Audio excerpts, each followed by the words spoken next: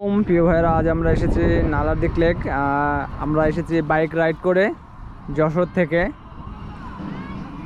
তো আপনাদের এই নালাদিক লেকের প্রাকৃতিক সৌন্দর্যগুলো আমরা দেখানোর চেষ্টা করতেছি। সামনে যে পাহাড়গুলো দেখতেছেন, এটা ইন্ডিয়াতে অবস্থিত। এটা সম্পূর্ণটাই মেঘালয় এর পাহাড়। এই পাহাড়ের নিচেই আছে বাংলাদেশ অবস্থিত। এই লেকের অনেক সৌন্দর্য ফুটে উঠেছে। বিশেষ করে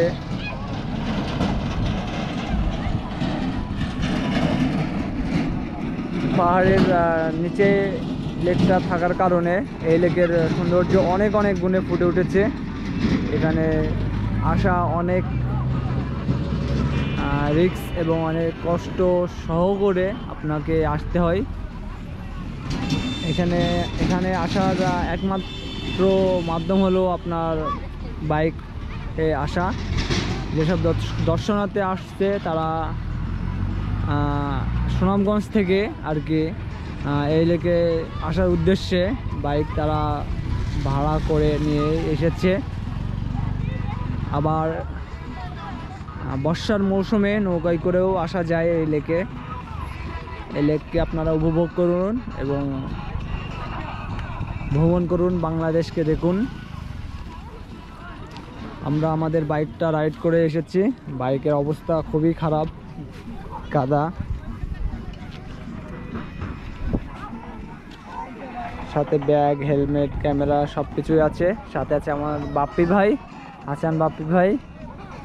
তো আপনারা যারা এখনও আমাদের চ্যানেলকে সাবস্ক্রাইব করেননি তারা অবশ্যই আমাদের চ্যানেলকে সাবস্ক্রাইব করুন, বেল বাটনটি ক্লিপটি ওকে করুন এবং আমাদের সাথে থাকুন, বেশি বেশি লাইক করুন কমেন্টস করুন এবং আমাদেরকে আরও উৎসাহ করুন ভ্রমণ করার জন্য যাতে আমরা ভ্রমণ করে,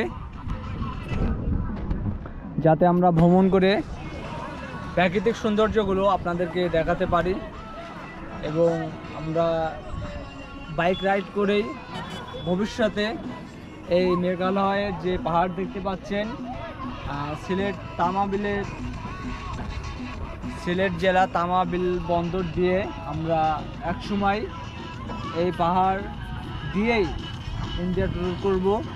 আমাদের নেক্সট প্রোগ্রাম আছে। সাথে হাসান বাপ্পি ভাইও থাকবে, আকাশ ভাইও থাকবে।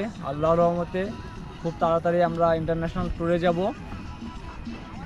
আর এই লেকের অনেক সৌন্দর্যগুলো ফুটে উঠেছে, আপনারা দেখুন। তো আপনারা আমাদের সাথে থাকুন, আমাদের ইউটিউব চ্যানেলটি।